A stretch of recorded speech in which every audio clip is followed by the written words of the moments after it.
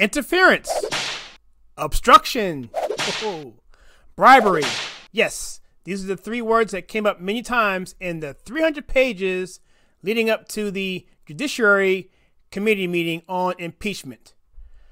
Yeah, so we're going to talk about that. We're going to talk about what the Democrats are trying to do, what their side of it is, what they're thinking about, why do they think the president is obstructing, why do they think that the president is interfering, and why it's total nonsense and why this is nothing more than a red herring to basically put this before the American people before the Christmas holiday so that they can say, yes, look what we did. Here's your present, America.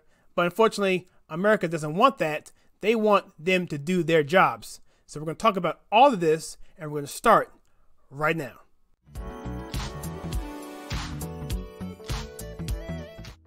Hello, my name is Kyle, and welcome to my channel where we take culture, TV, and movies and we filter it right. This is your first time here, please consider hitting that like and subscribe button and that bell icon so you don't miss any future content. I thank you so much for your support, and I enjoy doing this on this channel. And if you enjoy this content, please consider staying on board. And so, with that, we're going to talk about this particular hearing that's going on right now before the House Committee, the Judiciary Committee led by Mr. Jerry Nadler out of New York. Yes. And so we're going to talk about him a little bit, but also before I get started, the 300 pages that led up to this particular hearing is really incredible. What they have in this particular document is they have the word interference 79 times. They have the word obstruction 50 times. And they hint around bribery all over the place. And the thing is, it's all hearsay, it's all wishful thinking, it's all opinion, it's all, oh, please, please, please, please, let this finally be the time that we can finally get rid of this orange man. He's just so horrible, we can't take it. And this has been going on since November of 2016. Mind you, this is exactly what this is. This is basically payback from their side to get back from them losing the election in 2016. Make no mistake about it. That's what's happening. They're ramming this thing through into Americans' living rooms as much as they can and down our throats. Unfortunately for them, they are having some little second thoughts from some of their constituents, especially in the 31 purple districts in which Trump won, many of which are freshmen. And they want to win again, right? They want to you know, go back to office. They don't want to just be there for two years and be gone. So there's some intrepidation on their side. But I'm not going to get into that too much in this video. I'm going to talk about what's going on today and what happened yesterday leading up to this and what the Democrats are thinking and why are they so hell bent on trying to get this. Well, we know why they're trying to get their president out of here, but why are they so hell bent on pushing forth a narrative that's been ultimately rejected by the American public? So, what we have is essentially this, right? So you have the witnesses that came forth in the Intel Committee. That's what happened prior, right? Right now we're dealing with the Judiciary Committee. Who knows what the difference is, right? So this particular committee, uh, the Intel Committee, brought forth 12 witnesses. Okay, and so as I mentioned before, the 300 pages of hearsay, speculation, oh, please, please, please, please let this be true document is something that is nonsense, right? But what we do know is this. We do know these facts. Number one, the 12 witnesses that came forward, they both agreed to these. That there was no quid pro quo. In fact, there was all, well, they didn't mention that necessarily. No, no, no, no.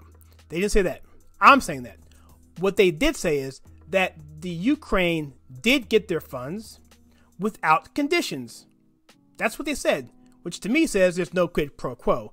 I don't believe they actually ever admitted to that particular site, but they never actually were able to prove it. But they did say that there were no conditions to the aid that was given to Ukraine. Now, what does that mean? If you're just joining this, you don't understand what's happening. So essentially, there's a video on this as well. I did what's up with Ukraine. I'll, I'll leave a link to that above. But essentially, what's going on with the Ukraine is this: is Ukraine is separate from Russia, and Russia wants the eastern part of that back is Crimea area and so forth, and they don't want to go. They want they're basically at odds with Russia, and as we know, Russia is not friends with America traditionally.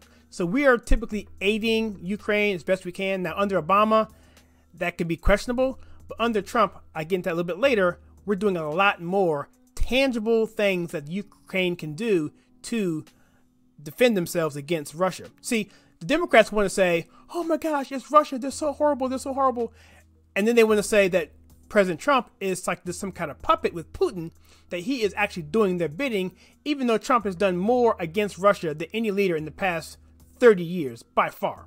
Okay, he's done so much in squashing Russia and what they're trying to do against NATO and against what they're trying to do with the energy and so forth. And also backing their enemies, in this case, Ukraine. So that's number one. We know that the aid was given with no conditions. Number two, that the meeting was given with no conditions. Okay, that's another thing. So the meeting between Trump and Zelensky was a uh, a meeting for them just to get together with, with no conditions on top, no strings attached, just meeting. And lastly, that meeting was not by themselves. President Pence was there as well, and so they act like it's like President Trump in a, in a closet on the phone whispering to the president of Ukraine, "Hey, yo, man, uh, check this out. So if you uh, decide that you want to um, uh, get this uh, these javelin rockets, you know, against your enemy, um, tell you what, why don't you launch an investigation against this guy named Joe Biden? I think he's doing some dirty work, him and his son. If you do that, I will absolutely give you this aid and, and all this stuff, but you better do it. Otherwise, you know, you ain't getting anything. That's what the Democrats want you to believe happened, but of course, it didn't happen. Number one, we had the transcripts, and number two, what Adam Schiff said, notwithstanding what he said to the Congress, but every witness that came across said that there was no quid pro quo. Zelensky said that didn't happen. There's no evidence whatsoever. The transcript's there. There's nothing that they can say to point to that. But they want you to believe that. And so they put these things in there like interference and bribery and this and conjecture and I think and might have and I wasn't there. Oh, I heard from my third party's cousin's nephew's aunt, right? All of this third party, fourth party conjecture stuff just isn't going to fly with the American people. And so even so even the witnesses that the Democrats brought forth that were hostile to the president, that were going to spew their side of their story, that were going to be the star witnesses to slam it home, put that nail in the coffin. These people such as Yovanovitch, Taylor, Mr. Kent, Mr. Volker, all of them essentially said that the policies that the Trump administration put forth was a much stronger policy than what we got under President Obama. When it comes to lethal aid packages, when it comes to the Javelin rockets in defense, that was something that Trump gave, not Obama. Obama gave food and blankets, I guess. It was nothing of the lines of direct confrontation to Russia.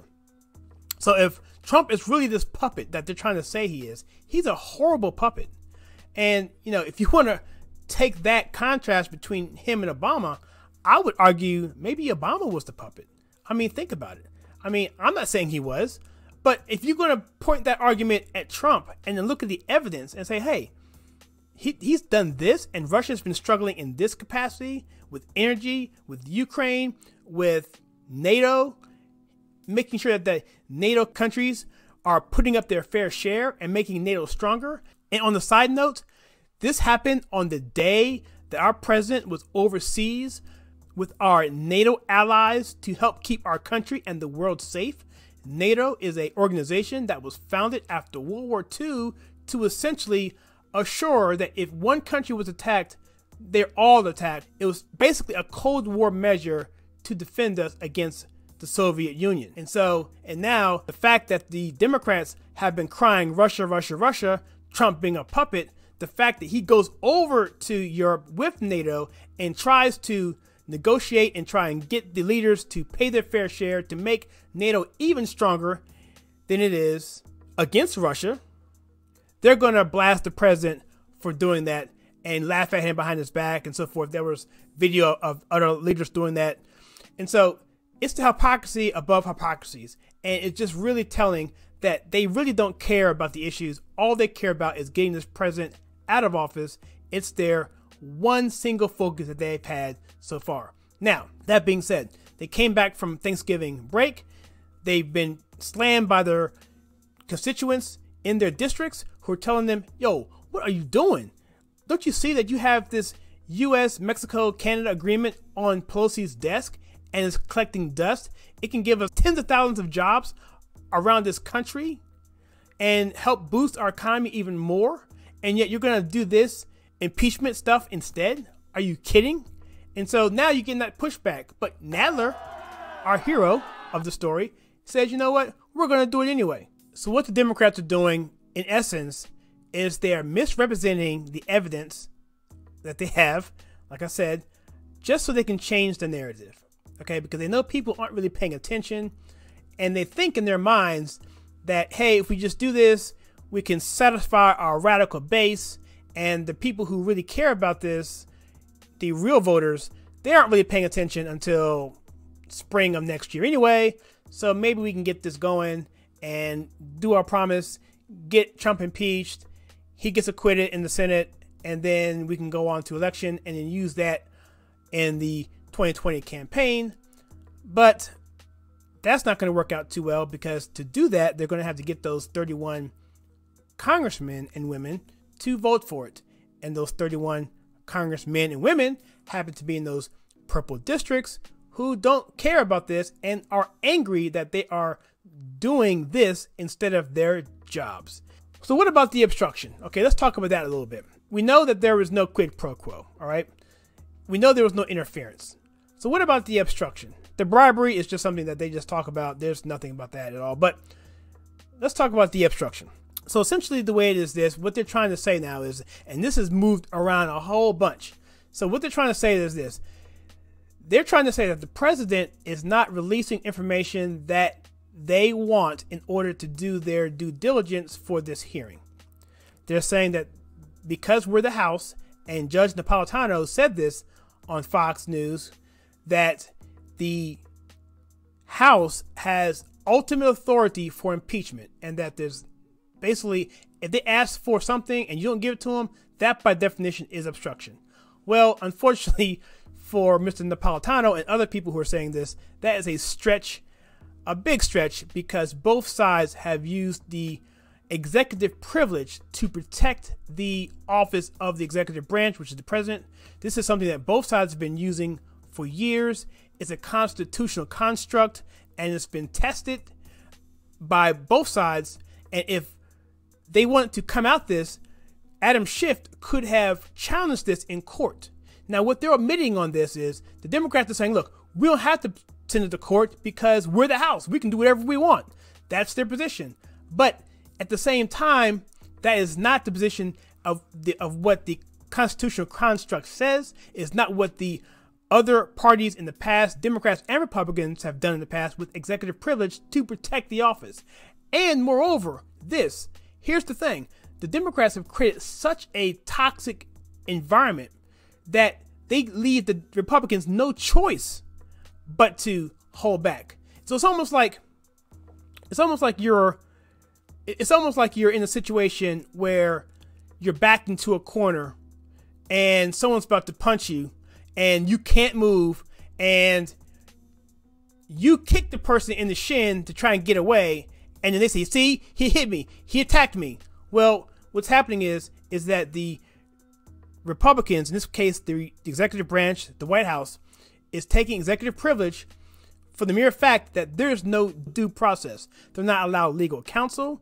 They're not allowed rebuttals. They're not allowed their constitutional rights to defense. They're not able to bring forth witnesses. They have to give up their executive privilege rights just to come into this hearing. And so what they want to do is they want to make sure that they put them into a position, the, the Republicans, so where they have to turn this down. No lawyer, no counsel of any worth would tell the president to go forth in these conditions. They're setting a trap for him and they're playing it out in the media.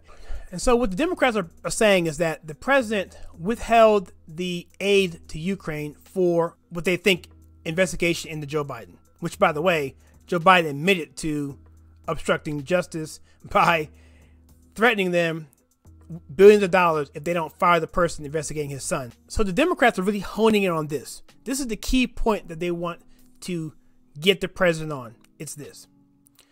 They're saying that the president had a discussion with Senator Johnson in which he said, You're going to be really happy with what's going to happen with the aid package to Ukraine.